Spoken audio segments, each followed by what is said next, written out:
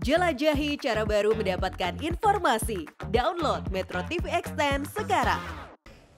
Pemirsa pengamat politik Adi Prayitno menyatakan ada peluang besar PKB akan keluar dari koalisi kebangkitan Indonesia Raya jika Caimin tak kunjung dijadikan cawapres Prabowo Subianto.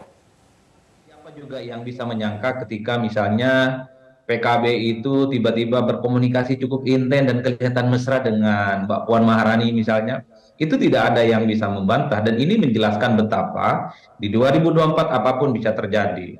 Dalam konteks uh, poros yang dibangun oleh Gerindra dan PKB misalnya, tidak ada jaminan PKB itu iman politiknya terus dengan Prabowo Subianto. Kalau Cak Imin tidak dipinang sebagai wakilnya di 2024, saya ingat persis beberapa waktu yang lalu, sejumlah elit PKB itu mengultimatum akan mencabut dukungan politiknya kepada Prabowo Subianto ketika Prabowo dikait-kaitkan soal kemungkinannya berpasangan dengan Ganjar.